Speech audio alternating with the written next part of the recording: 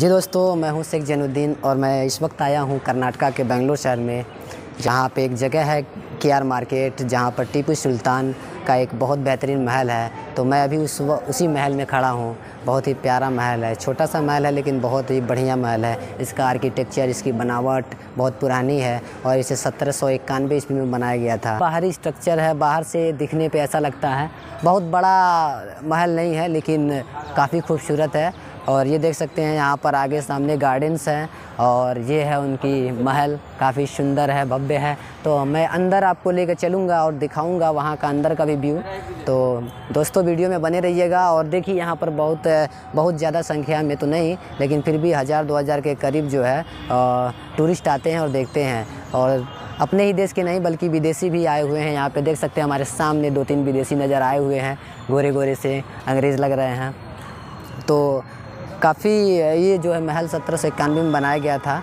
काफ़ी महत्वपूर्ण महल रहा और उनका टीपू सुल्तान का और हैदर अली का जो है शासनकाल भी बड़ा इम्पोर्टेंस रहा है हमारे भारतीय इतिहास में।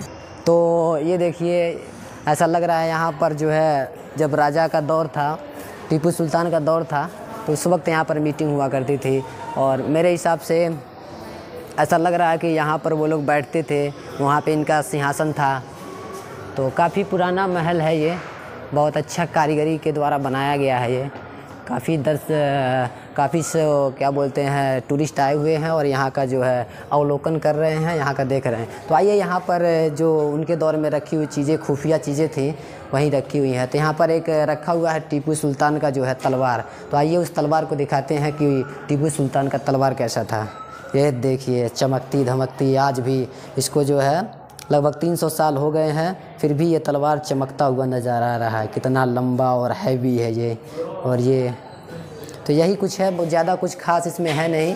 उनके दौर में जो कुछ भी था, वो था, इस समय तो सब कुछ यहाँ से निकाल दिया गया है। और जो जो कुछ भी रखा गया है, ये प्राइवेट रूप में रखा गया, उसमें दर्शकों को जाने का अलाउ नहीं है।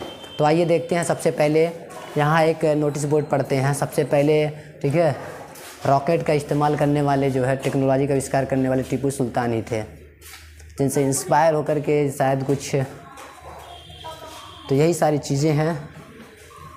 आइए बढ़ते हैं और ये देखिए, इसमें जो है दो रूम्स हैं, यहाँ पर लॉक है और यहाँ पे लिखा गया कि वीडियो फोटोग्राफी बनाना मना है तो इसलिए हम भी अब यहाँ पर वीडियो बंद कर रहे हैं।